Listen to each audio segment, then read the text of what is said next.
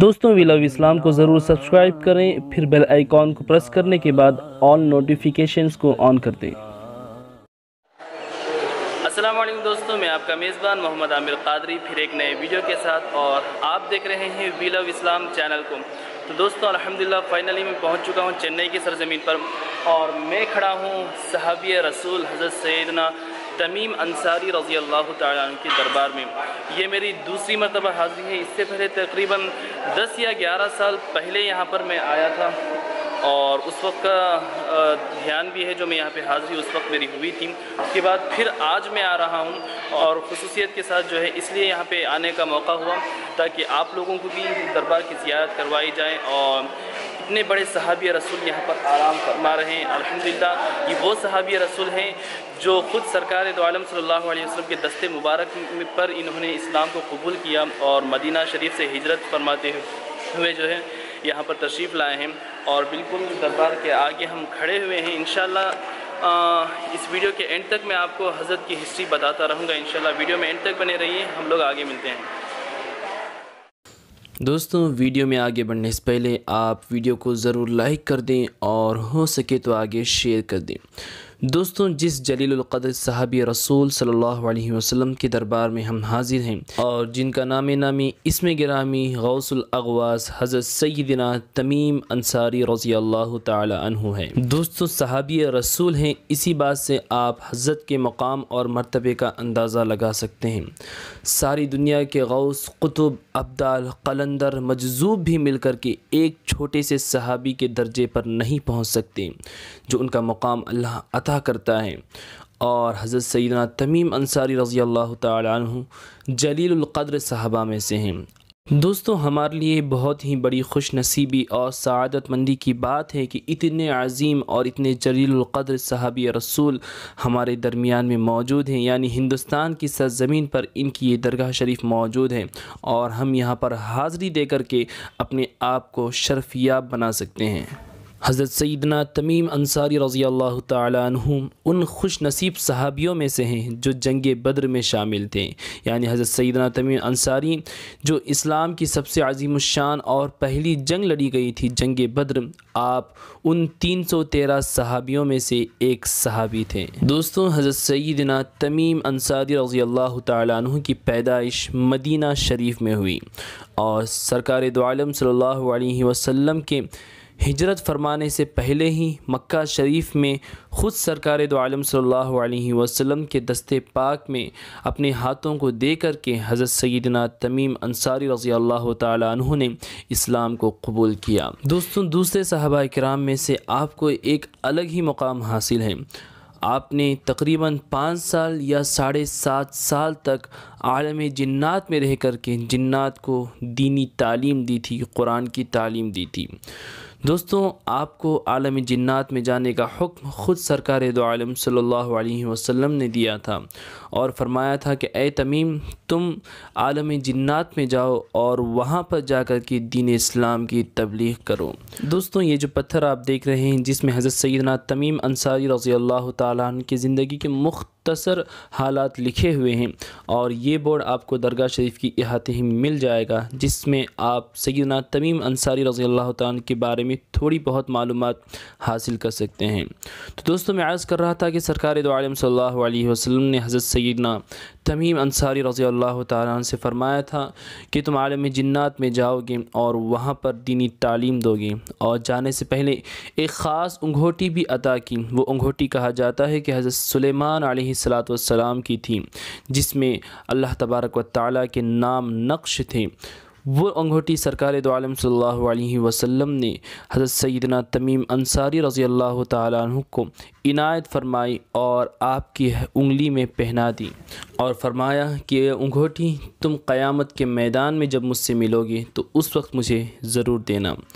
سرکار دو عالم صلی اللہ علیہ وسلم کی اس وصیت کے مطابق عمر حضرت سیدنا تمیم انصاری رضی اللہ تعالیٰ عنہ نے اس انگھوٹی کو اپنے سینے سے لگا کر کے رکھا اور اپنی جان سے زیادہ اس کا خیال رکھا۔ اور جب آپ نے پردہ فرمایا تو آپ کے ہاتھ میں وہ انگوٹی موجود تھی اور آج بھی آپ ہی کے ساتھ اور آپ ہی کے ہاتھ میں وہ انگوٹی آپ کی مزار میں موجود ہیں۔ دوستوں حضرت سیدنا تمیم انصاری رضی اللہ تعالیٰ عنہ تقریباً ساڑھے سات سال کے اس طویل عرصے تک عالم جنات ہی میں رہے۔ حضرت مولا علی شیر خدا حیدر قرار رضی اللہ تعالیٰ عنہ فرماتے ہیں کہ میرے آقا صلی اللہ علیہ وسلم نے فرمایا کہ میرے بعد دنیا میں بہت سارے عجائبات ظاہر ہوں گے۔ ان میں سے ایک تمیم انصاری کا قصہ بھی ہوگا۔ دوستوں، حضرت سیدنا تمیم انصاری رضی اللہ تعالیٰ عنہ نے ان ساڑھے سات سال میں بہت سارے عجائبات دیکھے۔ آپ عالم جنات میں تھے، کہا جاتا ہے کہ عالم جنات میں سے ہماری اس دنیا کا سفر ہزار سال کا تھا۔ اور وہاں پر آپ نے کئی انبیاء کرام سے بھی ملاقات کی اور زیارتیں کیں جیسے کہ حضرت الیاس علیہ السلام، حضرت سلیمان علیہ السلام اور حضرت خضر علیہ السلام سے بھی آپ نے ملاقات کی۔ اور آپ نے دجال کو بھی دیکھا کہ ایک بہت ہی بڑے پیڑ میں اس کو فرشتوں نے زنجیروں سے باندھ کر کے رکھا ہے۔ اور حضرت سیدنا تمیم انصاری رضی اللہ تعالیٰ عنہ نے اس فرشتے سے بھی پوچھا کہ یہ کون ہے جسے تم لوگوں نے زنجیروں سے باندھ رکھا ہے؟ تو اس فرشتے نے کہا کہ وہ وہی ہے جس کے آنے کی خبر سرکار دو عالم صلی اللہ علیہ وسلم نے دی تھی کہ قیامت کے قریب یہ نکلے گا۔ یہی دجال ہیں جو قیامت کے قریب یہاں سے باہر نکلے گا اور لوگوں کو تکلیفیں دے گا۔ دوستوں یہ جو مزار شریف آپ دیکھ رہے ہیں، یہی مزار شریف حضرت سیدنا تمیم انصاری رضی اللہ تعالیٰ عنہ کی ہیں۔ دوستوں بہرحال حضرت سیدنا تمیم انصاری رضی اللہ تعالیٰ عنہ نے وہاں پر کئی سارے عجائبات دیکھے اور کئی سال تک جنات کو قرآن سکھاتے رہیں پھر جب آپ حضرت خضر علیہ السلام کی مدد سے مدینہ شریف واپس تشریف لائے تو دیکھا کہ حضرت عمر رضی اللہ تعالیٰ عنہ اب خلیفہ بنے ہوئے ہیں۔ اور آپ حضرت عمر رضی اللہ تعالیٰ عنہ کے دور خلافت ہی میں مدینہ شریف سے ہجرت فرما کر کے آپ ہندوستان کے کراچی میں پہنچے، جو ابھی پاکستان کا ایک حصہ ہے، تو اس وقت ہندوستان ہی کا حصہ کراچی تھا۔ پھر آپ سندھ میں اٹھارہ سال تک امیر المؤمنین رہیں پھر جب آپ کے وصال کا وقت قریب آیا تو آپ نے یہ وصیت فرمائی کہ میرے جسم کو ایک صندوق میں بند کر کے سمندر میں بہا دیا جائے۔ یہ صندوق جس کنارے پر لگے گا، وہیں میرا جنازہ ہوگا اور وہیں مجھے دفن کیا جائے گا۔ لوگوں نے آپ کے جسم مبارک کو غسل کے بعد کفنا کر آپ کی وصیت کے مطابق ایک صندوق میں آپ کو رکھ دیا اور اسی صندوق میں ایک تحریر بھی رکھ دی کہ یہ صحابی رسول صلی اللہ علیہ وسلم ہیں اور ان کا نام تمیم انصاری رضی اللہ تعالیٰ عنہ ہے اور ان کا وصال پچہتر ہجری یعنی سیونٹی فائیو ہجری میں ہوا اور اس کے علاوہ اور بھی چند تفصیلات لکھ کر کے اس صندوق میں ڈال دیا گیا جس میں حضرت سیدنا تمیم انصاری رضی اللہ تعالیٰ عنہ کا جسم مبارک تھا۔ پھر اس صندوق کو سمندر میں ڈال دیا گیا۔ وہ صندوق سمندر میں بہتا ہوا ایک کنارے پر پہنچا اور مچھیروں نے یعنی مچھلی پکڑنے والوں نے اس صندوق کو پکڑنا چاہا، لیکن لاکھ کوششوں کے باوجود کسی کے ہاتھ وہ صندوق نہیں لگا۔ پھر جب یہ خبر اس وقت کے حاکم وقت کو ہوئی تو فوراً وہ دوڑتا ہوا سمندر کے پاس پہنچا اور اس صندوق کو خود وہ پکڑنا چاہا تو صندوق آسانی کے ساتھ حاکم کے قریب آ گیا۔ حاکم نے اسے ساحل پر لایا یعنی سمندر کے کنارے جو ساحل ہوتا ہے وہاں پر لا کر کے اس صندوق کو کھولا تو سبحان اللہ، ان خوش نصیبوں نے حضرت سیدنا تمیم انصاری رضی اللہ تعالیٰ عنہ کا دیدار کیا، جن کا جسم مبارک اس صندوق میں موجود تھا۔ آپ کے جسم مبارک کے پاس ایک تحریر موجود تھیں جو میں نے کہی تھیں، اس کاغذ کو اٹھا کر کے جب ان لوگوں نے پڑھا تو پتہ چلا کہ کوئی عام شخصیت نہیں بلکہ صحابی رسول حضرت سیدنا تمیم انصاری رضی اللہ تعالیٰ عنہ ہیں۔ دوستوں چار سو سال کا طویل عرصہ گزر جانے کے باوجود بھی آپ کا جسم مبارک بالکل صحیح، سلامت اور تر و تازہ تھا۔ اور آپ کے جسم مبارک کی تو بڑی شان ہے، جس صندوق میں آپ کا جسم مبارک تھا، وہ صندوق تک بالکل صحیح سلامت تھا۔ دوستوں آپ کے حساب سے وہ صندوق سمندر میں کتنے دنوں تک رہا ہوگا یا کتنے مہینوں تک رہا ہوگا؟ یہ بات جان کر کے آپ کو بہت ہی بڑی حیرانی ہوگی۔ اور اس بات سے حضرت سیدنا تمیم انصاری رضی اللہ تعالیٰ عنہ کا مقام اور ان کی ایک بہت ہی بڑی کرامت آپ کو یہ پتہ چلے گی کہ یہ صندوق سمندر میں تقریباً چار سو سال تک بہتا رہا اور بحر عرب اور بحر ہند سے بہتا ہوا خلیج بنگال میں داخل ہو کر کولم کے اس ساحل سے آ لگا تھا اور کولم شریف جو ہے، چنئی سٹی سے تقریباً چالیس کلومیٹر کی دوری پر ہے۔ پھر اس حاکم وقت نے آپ کی نماز جنازہ پڑھوانے کا حکم دیا۔